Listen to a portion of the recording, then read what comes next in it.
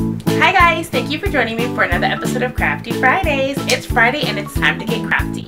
Today we are making ornament garland. Super simple craft. Anybody can join in on the fun, even the beginners and kids and the non-crafty and the complainers and all of the people can join in. So let's see what we need.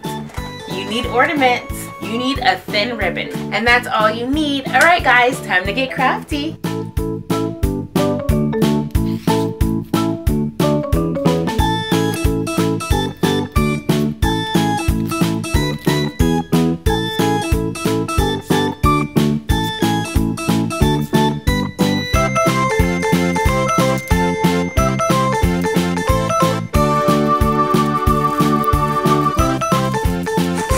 This is it! Isn't it cute? I can wear it as a necklace. Thank you guys for joining me for another episode of Crafty Fridays.